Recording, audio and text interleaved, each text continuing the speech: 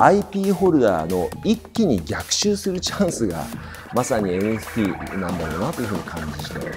我々が取り組むべき技術であると、はい、ビジネスであるというふうにその時確信をいたしました。仮想資産ってゴールドじゃなくて通貨になりつつあるんだなすごい僕 NFT のこのマーケットの意味を感じてます。社会的な意味。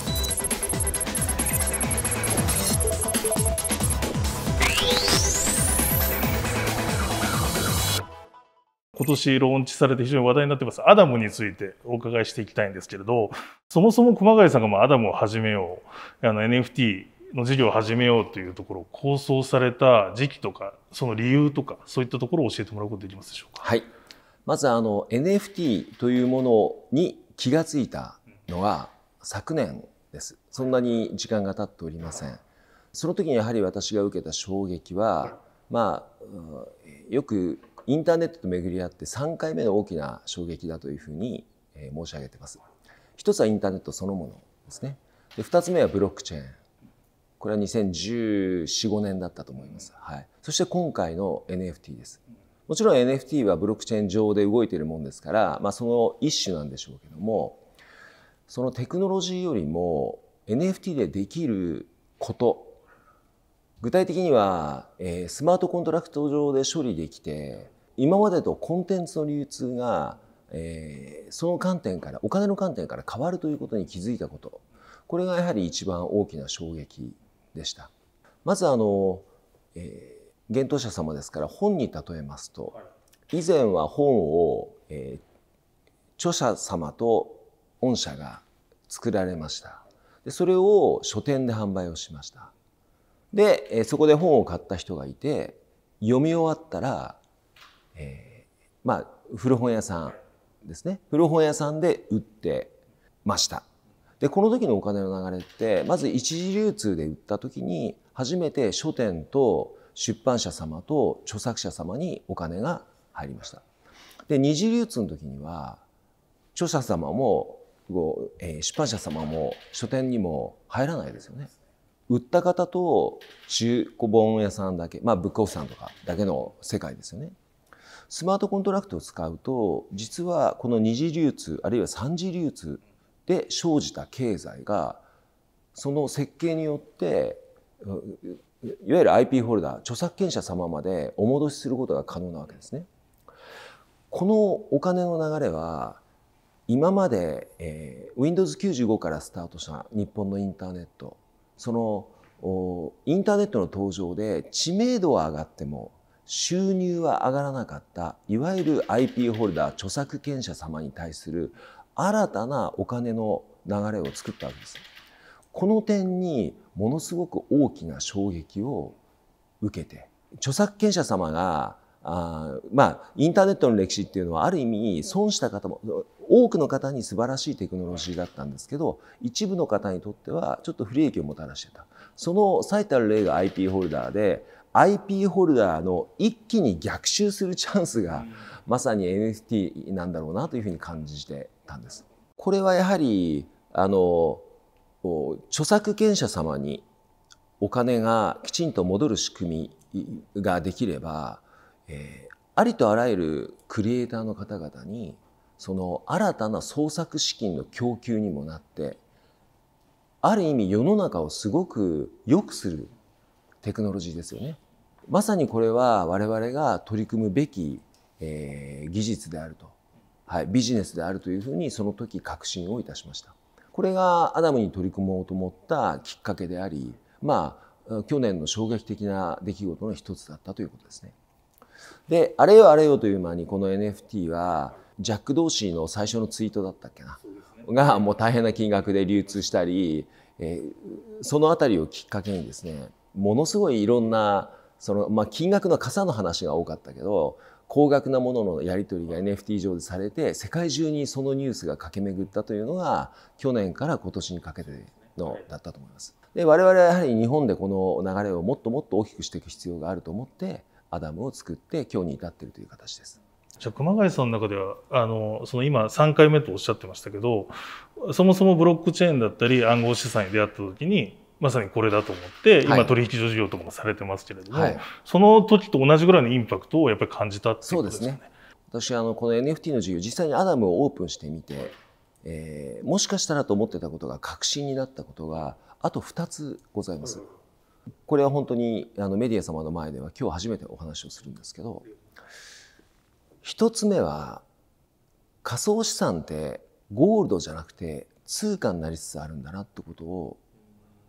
ここに来てすごく確信してるんですね。そもそも仮想通貨仮想資産はお金なのか金なのかっていう議論はすごくあって、まあ、お金だと信じてる人は、えーそのビットコインで物を売ったり買ったりあとコーヒーショップでビットコインを受け入れたりっていうことが世界中で、まあ、ちらほらありましたよね。でもあまりうまくいってなくて。なぜならば各種コインの変動が大きいということからやはり通貨として使うのはちょっと厳しいんじゃないかっていう話もあったり。で実際には僕は去年 NFT と出会うまではこれはえやはりデジタルゴールドだよねって思ってたんです。価値の保存をするってことですね。うん。はい、でデジタルゴールドでそれはそれでいいじゃないかと、はい、金はもうね持って歩くの重たいしそもそも通貨とか価値を表すものっていうのは石から始まり貝から始まりあのだんだんだんだん便利なものになってきてるんだけどいまだ紙とコインなわけですよ。そうですね。だからそれはでゴールドなんか残ってるけど重たいわけですよ。はい。だからそういう意味ではやはりこれはあのデジタルゴールドとしてスマホの中で全て済ませたいのでビットコインとか、ね、各種、うえー仮想資産というのはその代わりでいいというふうに思いましたでもやはりあの通貨としての役割を期待したいので、はい僕 GMO 自体は、えー G 円とか ZUSD というのを、ステーブルコインはいはいステーブルコインをアメリカで正式に許可をいただいて、はい今もう流通させ始めてます、まあそう考えてたんですね。ですからもう仮想資産はデジタルゴールドでえーステーブルコインが通貨の代わりになればいいと。はい。でまあそのうち各国政府があのデジタル通貨を出してくるから、まあ、その後どうなるかは歴史のみぞ知るっていうところで事業をやっていたわけですけどこの NFT が出て各国のマーケットをつぶさに観察していくとあれとこれってもしかしたら仮想資産が通貨になってきてるっていうふうに思ったんですよ。まさにデジタルのものを、えーこのように気軽に世界中の人が、えー平等に売り買いできる場所って今までなくてこの NFT のマーケットで初めてそれが実現したわけですよね。変な話ですけどマーケットって人類の歴史を振り返ってみるともうそもそもあの、えー日々のこの豊洲市場じゃないけどそういうマーケットが世界中にあってでそういうところで物の売り買いをしていたわけですよね。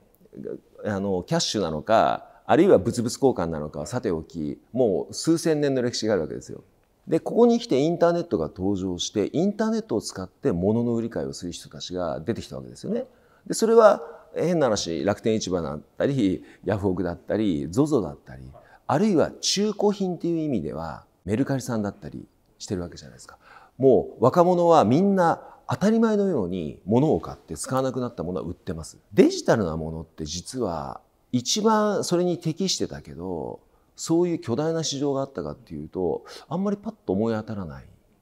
くないですか？皆さん。初めてこの NFT でそのデジタルなものの流通市場が生じたわけですよ。でそれはなぜかというとデジタルってコピーしやすかったから。あのまあ、未だにね NFT の中のでコンテンツはコピーができるけど唯一無二っていう意味では NFT があると証明できて、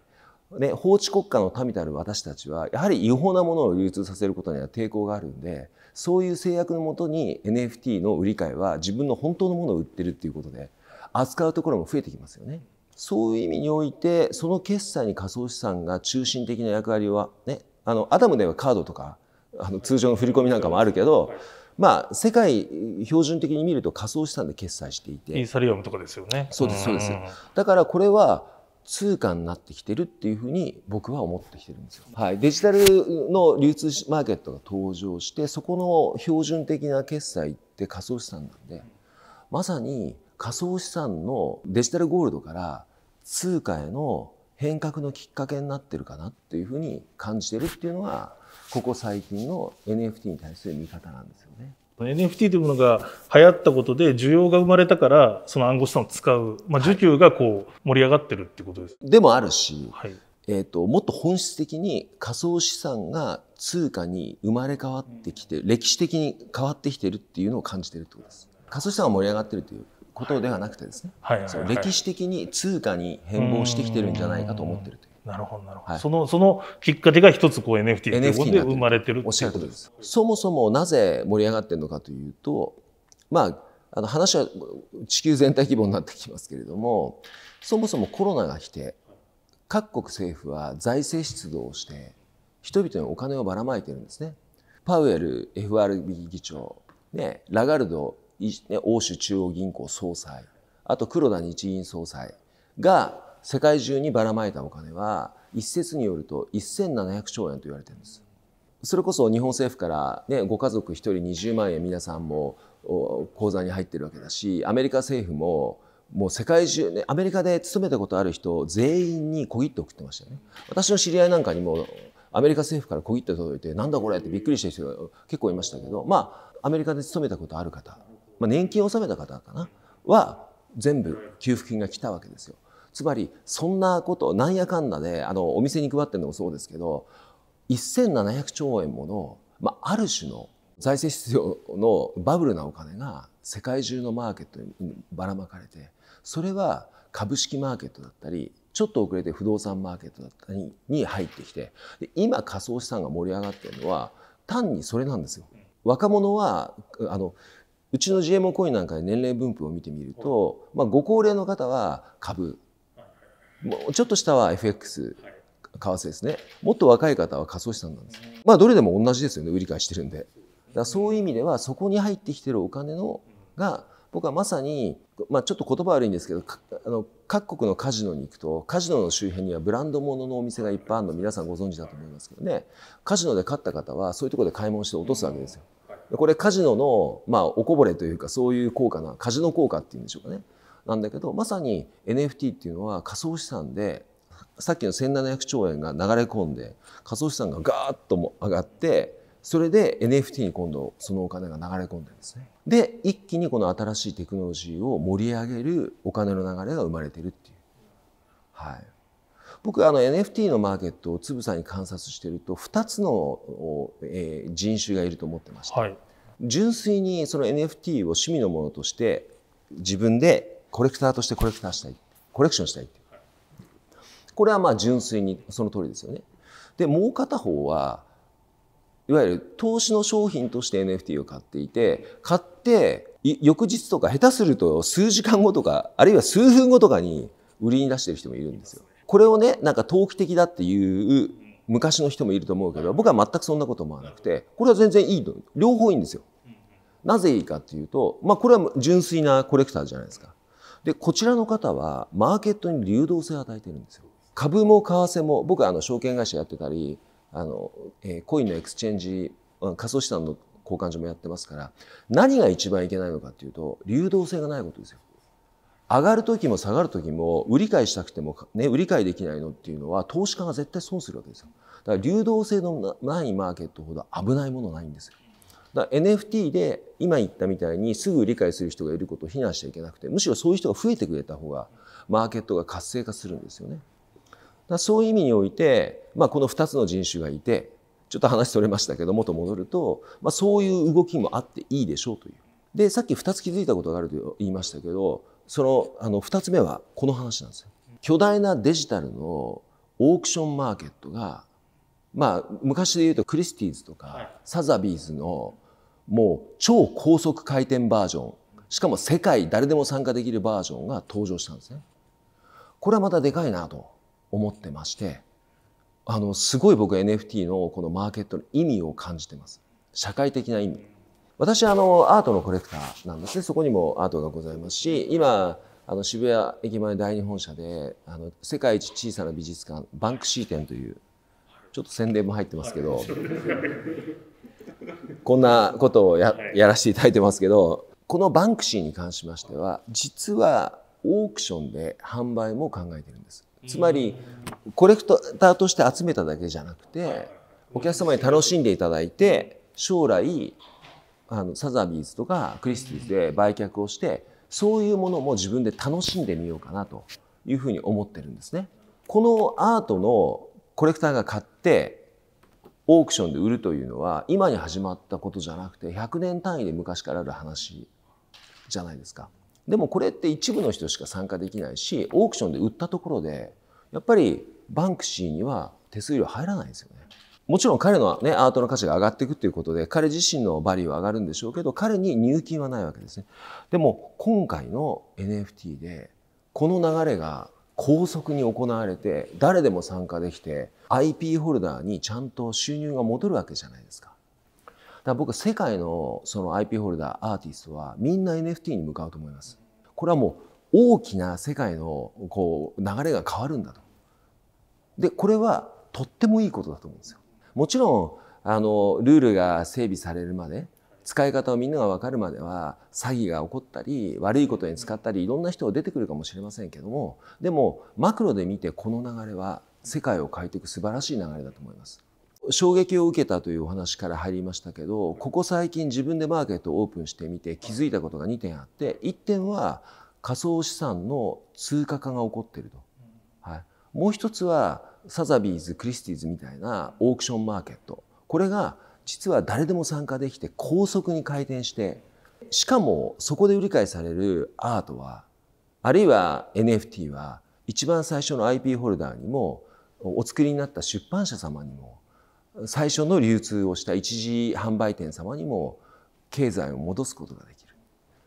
世の中がものすごい変わってきているということを感じているのが今日この頃です。すいません一問でなんか10倍ぐらい答えちゃいやありがとうございます。でもそのお話にちょっと関連してお伺いした、はい、まさにアダムはまだベータ版なので、はい、これからどんどんとこうバージョンアップしていくと思うんですけど、はい、今、えーと、僕もブロックチェーン全体見ててあの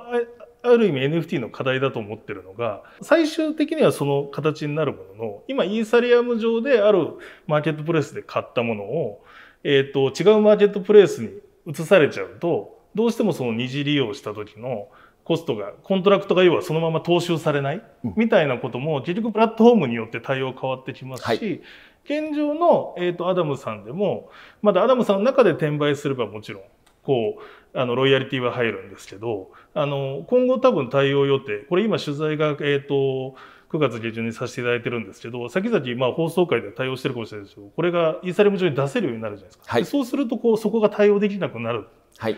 と言われてますけれども、はい、そこら辺はどう熊谷さんお考えですか、はい、2つの動きが起こると思います。一つは業界で互いのスマートコントラクトをきちんとね、うん、あの著作権者様のことを考えて、はい、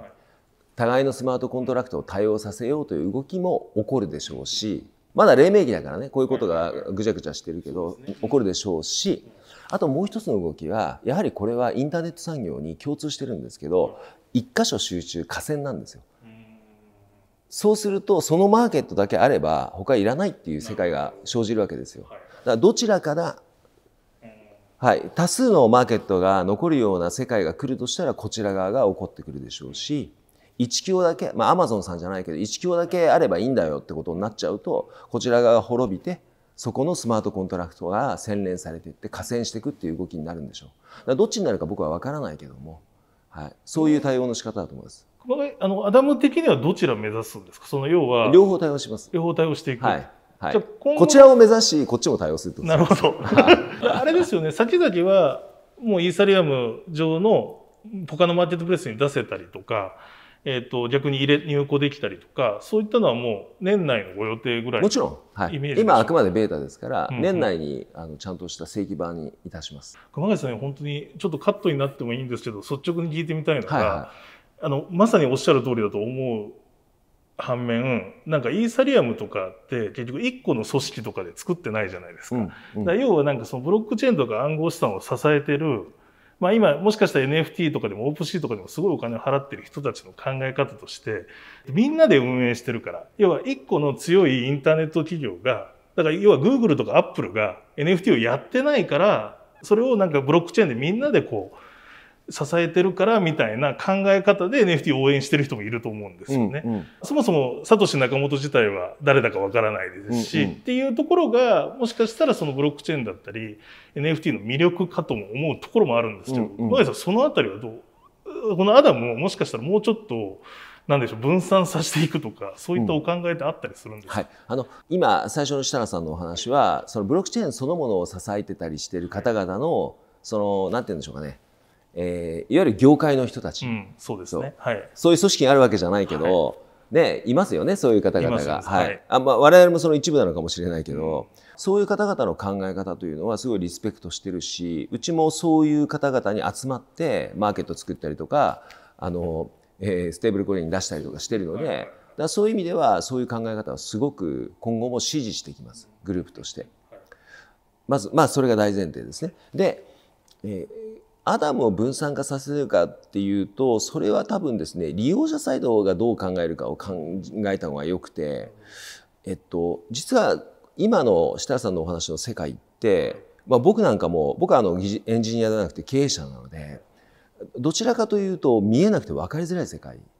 なんですよね。でもブロックチェーンというのはトラックレコード上人が一番